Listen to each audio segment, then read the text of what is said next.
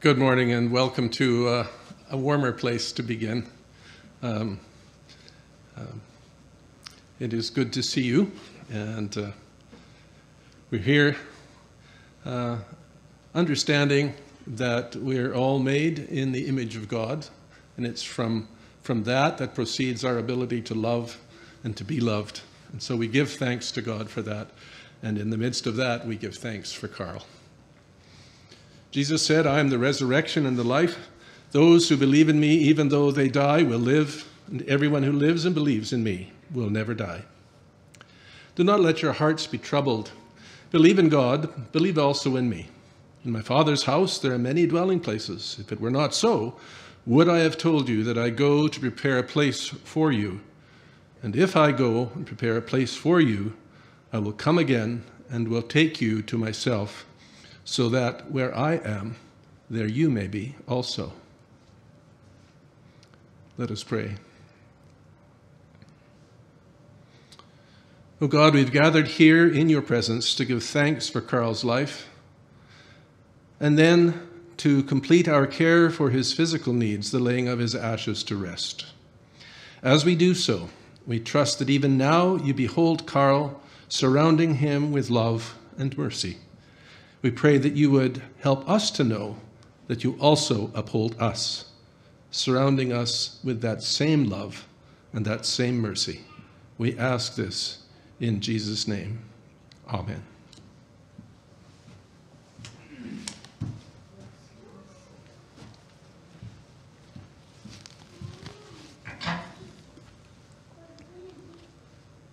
Jesus said, Come to me all you that are weary and are carrying heavy burdens, and I will give you rest. Take my yoke upon you and learn from me, for I am gentle and humble in heart, and you will find rest for your souls. For my yoke is easy and my burden is light. Paul says to the Roman church, we know that God makes all things work together for good for those who love God, who are called according to his purpose. We know that all things work together for good for those who love God, who are called according to his purpose. What then are we to say about these things? If God is for us, who is against us? He who did not withhold his own son, but gave him up for all of us, will he not with him also give us everything else? Who will separate us from the love of Christ? Will hardship, or distress, or persecution, or famine, or nakedness, or peril, or sword. No. In all these things, we are more than conquerors through him who loved us. For I am convinced that neither death nor life,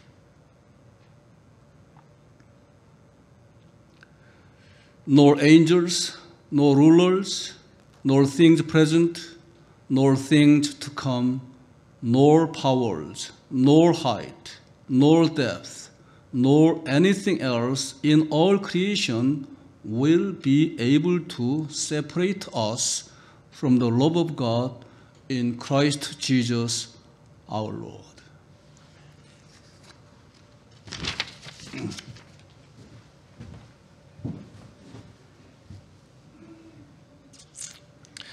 May the words of my mouth and the meditations of all our hearts be acceptable unto you, O Lord, our strength and our Redeemer.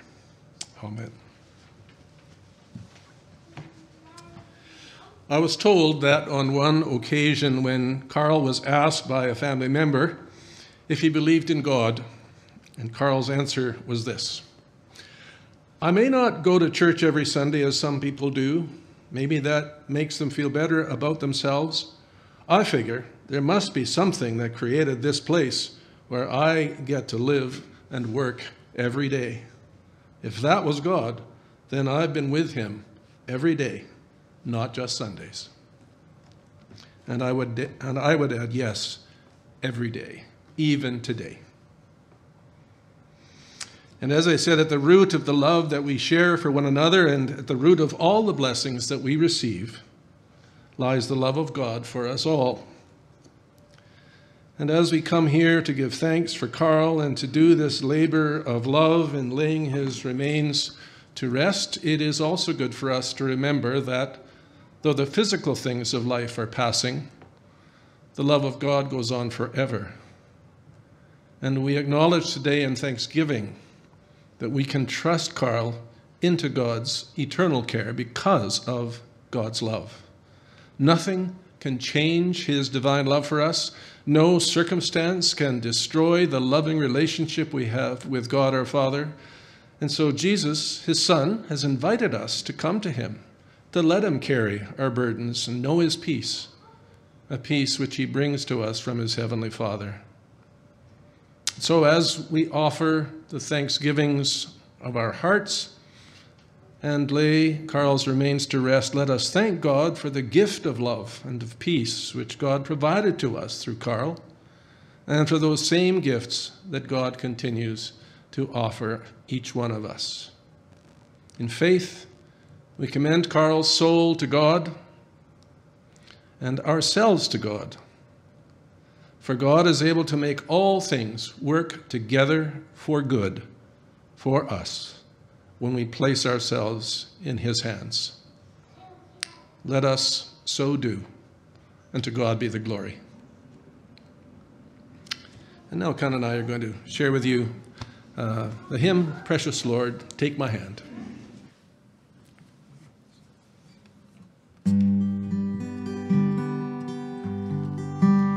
Precious Lord, take my hand, lead me on, me stand. I am tired, I am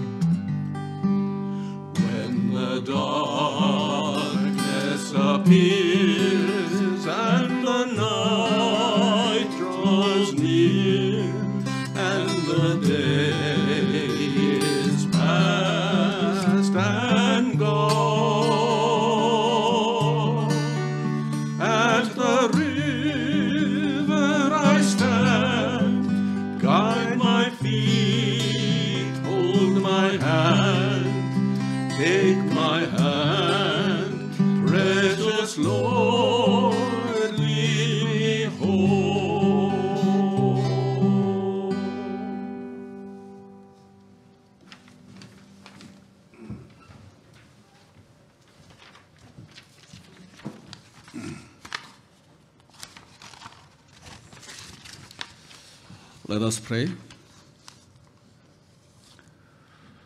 Lord Jesus, grant to, to this family and to all here in need the rest you promise when they come to you.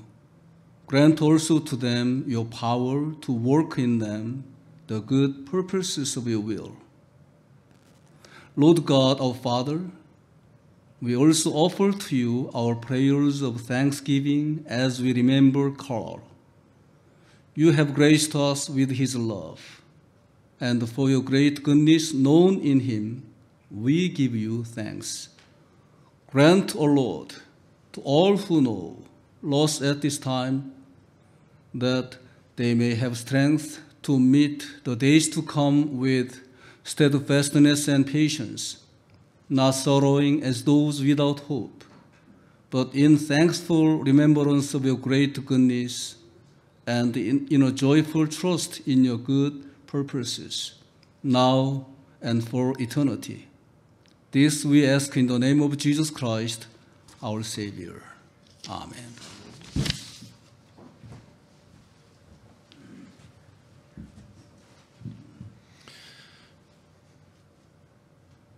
The Lord's Prayer Our Father, who art in heaven, hallowed be thy name.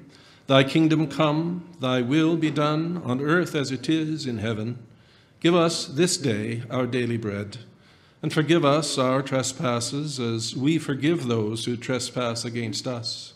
And lead us not into temptation, but deliver us from evil.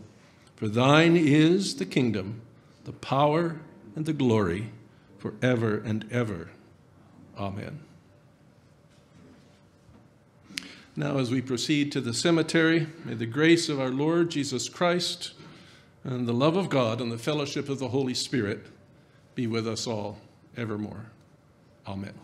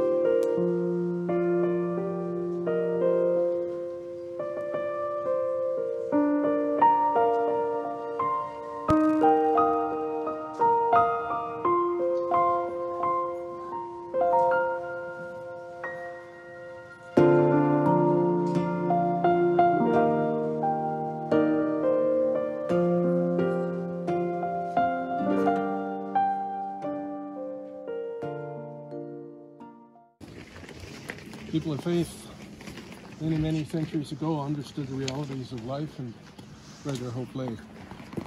And so I'm going to read for you something that was written long ago. Give rest, O Christ, to your servants with your saints, for sorrow and pain are no more, neither sighing, but life everlasting. You only are immortal, the creator and maker of all, and we are mortal, formed of the earth, and to earth shall we return. For so did you ordain when you created me, saying, You are dust, and to dust you shall return. All of us go down to the dust. And yet, even at the grave, we make our song, Alleluia, Alleluia, Alleluia. Give rest, O Christ, to your servants with your saints, for sorrow and pain are no more, neither sighing, but life everlasting. We'll have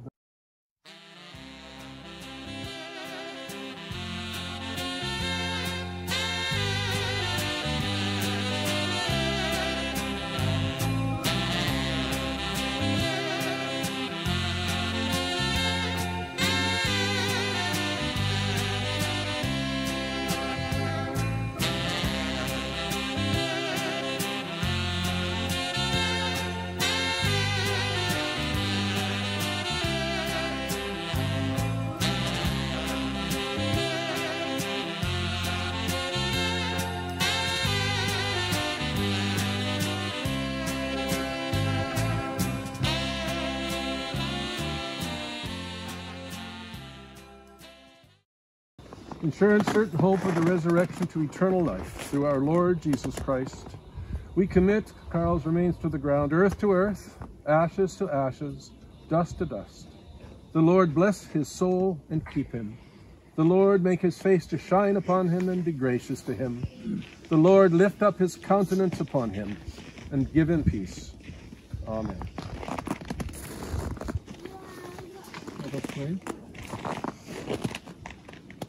Father of all, we pray to you for those we love but see no longer. Grant to them your peace. Let light perpetual shine upon them. And in your loving wisdom and almighty power, work in them the good purpose of your perfect will through Jesus Christ our Lord. Amen. Almighty God, Father of mercies and giver of comfort, deal graciously we pray with all who mourn, that casting all their care on you, they may know the consolation of your love through Jesus Christ our Lord. Amen. Now the peace of God, which passes all understanding, keep your hearts and minds in the knowledge and love of God and of his Son, Jesus Christ our Lord. And the blessing of God Almighty, the Father, the Son, and the Holy Spirit rest upon you and remain with you always. Amen. Well, now at this point, uh, we've concluded uh, our main prayers. We're going to uh, have the closing in of the grave. Um, if there are those who would like to place an item in the grave, we'll begin with that. Um, you'll also have opportunity to place a small amount of earth in the grave, and last of all, the grave will be filled in. And so feel free to stay or to go at any time or to help with the filling in.